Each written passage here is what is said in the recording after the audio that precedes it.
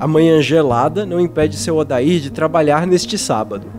Faz 19 anos que o sitiante participa da Feira do Produtor no Parque da Festa do Figo. Sua banca tem jambo, carambola e mamão caipira. Aqui na feira, as frutas e hortaliças vêm fresquinhas. A maioria foi colhida na zona rural de Valinhos no dia anterior. Esta é a feira mais antiga da cidade.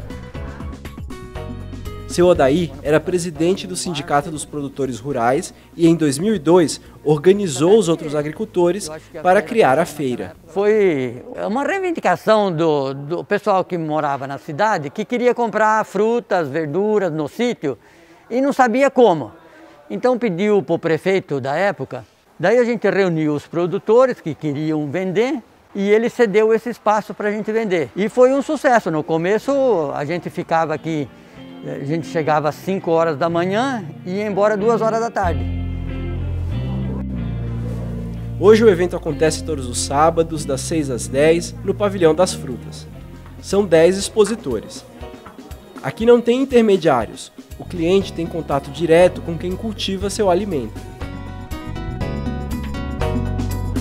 Além de produtos da roça, tem comidas prontas e um ingrediente secreto: a proximidade entre as pessoas conheço todo mundo. Inclusive, é, tem alguns que eu tenho grupo de WhatsApp. Então eu já faço pedido na, na quinta-feira. Quinta, sexta-feira já faço pedido. É, todos amigos, né? Eu já sei o nome de uma porção aí.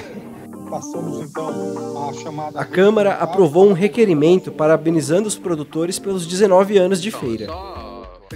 O autor do documento, o vereador Henrique Conte, diz que o evento beneficia os moradores do sítio e da cidade. O produtor consegue vender a um preço um pouquinho maior do que ele receberia e, principalmente, ele recebe à vista.